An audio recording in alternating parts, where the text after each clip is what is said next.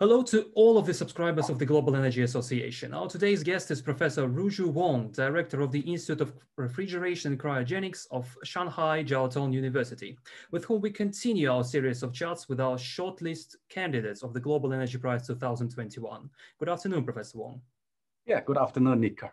Uh, this year, you were nominated for the Global Energy Prize partly because of your successful work on the so-called energy, water, air nexus. Uh, so what is interesting, what is this interesting connection between water, air, and energy, and how do they work together in terms of your technology? So actually, uh, my research area actually is energy, but it's uh, very closely related with water and air because I'm doing with air conditioning and air humidity control and also the use of renewable energies, and especially the, some technologies, so-called heat pump. So I think uh, water, energy, water, and air are the most three important issues for the mankind. Yeah, sure. And um, if I understand correctly, your work lies mainly in the sphere of refrigeration, cooling, and thermal science. So, how do these spheres, because it is very important, contribute to the Sustainable Development Goals of the UN, and do they at all? Yeah, actually, as you know, for the end users of energy, so normally it's uh, about a 20% that's direct electricity and 50% is used consumed for heating and cooling, and about 30% that's for fuels. Mm-hmm. So heating and cooling usually consume so big amount of energy for buildings and also for industries. So in this case, refrigeration. So we are making something for the cooling space for chilled water or to make some using heat pump to contribute heating. Mm-hmm. So, uh, in your opinion, uh, what, what you do is more sustainable for the whole world? Yes, basically. I, I think the most important thing I try to make good uses of any kind of energy, the waste heat or ambient energy or solar energy, and try to make it for the contribution of cooling or heating. Okay, so. Yeah uh, I must say that our today's interview will most definitely be viewed by people coming from different backgrounds and having various kinds of experiences and energy. So if we speak of the whole area of your activities, of, or the whole area of what you are doing, uh, how may your work help those living, for example, in remote areas, for example, in villages, small cities? So what, are, what would be the uh, concrete examples of that?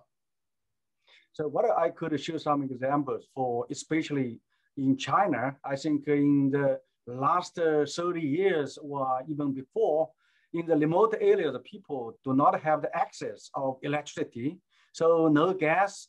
So at that time, I would say nearly about 30 or 40 years ago, it's uh, mainly that the remote area people, they use solar energy, so, so solar heating to get hot water for take a shower or baths. And uh, but now China is well developed and uh, more and more that electricity goes everywhere and the electrical appliance also applied everywhere. So in this case, we need to support the applications, how to use high efficient energy for hot water. So in this case, uh, nearly uh, I started some design before 20, uh, uh, just before 2000. At that time, I tried my best to make air source heat pump just to, to take heat from air, but consume some electricity but to the compressor. And then try to get the heat and uh, upgrade it to the high temperature to make hot water. So in this case, we could uh, get the heat from zero degree from ambient, but we could generate for about 50 or 60 degrees for heating, for hot water.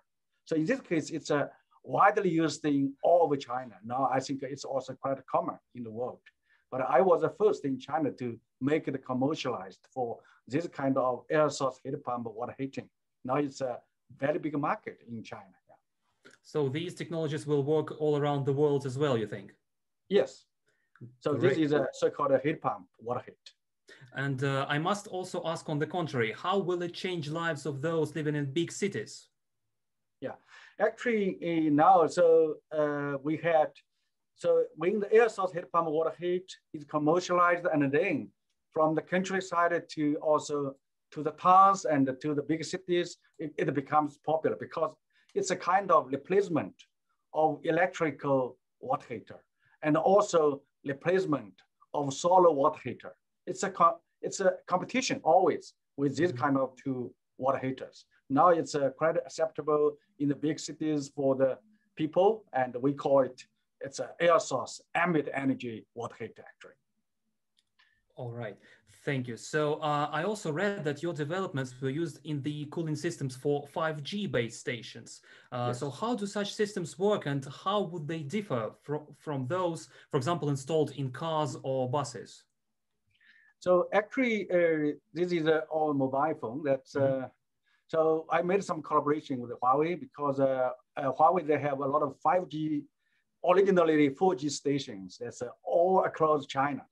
Mm-hmm. But when 5G is developed, so all the this kind of uh, 5G the stations need they need the size to be the same as before. But uh, if you switch from 4G to 5G's energy consumption is big. So mm-hmm. the chip's temperature will rise up. So in this case, they gave me the task that I try to keep the same size, but you try to reduce the temperature. So mm-hmm. in this case, we just make some mimics of uh, human bodies and try to make the changes of configuration of heat exchanges. And then at last to get a very homogeneous temperature distribution of the heat exchanges. And uh, then to nearly keep the size as original and then Huawei could easily to replace the original 4G to 5G. That's okay. for the mobile phone, yes. Yeah, and uh, once again, if, if we compare those uh, cooling systems in uh, 5G stations to those that are installed, for example, in, in uh, modern cars, how would they differ? I, well, I think dramatically, but how, in, in, in what way would they differ? So I, I think uh, I collaborated with Huawei actually two things. Uh, the first is for the 5G stations for the cooling and they try to upgrade the heat exchangers. So, but now in China, the more and more 5G stations, uh, at, at least in big cities, that's uh, popular, and uh, more and more 5G uh, mobile phones. Mm-hmm. And also we help Huawei try to also reduce the temperature of the mobile phone because mm-hmm. when it's in the operation, usually they have a peak. Maybe the peak could be about 20 or 30 minutes. So in this case, whether you could try to control that to keep the mobile phone, sub, the cover temperature could be controlled. We set the temperature, for example, about 38 degrees centigrade. If it's too high, you need try to control it. So in this case, we develop some technology, whether it's a hardware, we call it sweet cooling, or software, we call it soft cooling, just by the some uh, competition method and to predicate the temperatures of the cover. And then we use uh, the mobile phone itself. We use some soft, software, try to reduce some uh, uh, app uses and to control this kind of application and then cut down the temperature of the cover. So in this case, usually we need the both. It's a mobile phone that's connected with the 5G. And uh, because now it's a very, very uh, quickly developed. And uh, so we are happy that I'm involved. And uh, so my student and I, so we did our best and control and contributed to this kind of technology. Okay, and uh, I think the last one. So how much time will we actually need to implement your refrigeration and cooling technologies around the world? And what do we lack right now to do so? Yeah, I would say uh, just start from 2003. So I made it commercialized for air source heat pump water heat. Mm -hmm. So now in China, it's a very huge market. And I think uh, one year we have total sale about 10 billion yuan. So this is the market currently in China. And uh, also in, start from 2012, I invented another technology because we have technology air source heat pump to make hot water, but we could use hydraulic system to take hot water for heating of the rooms for space heating.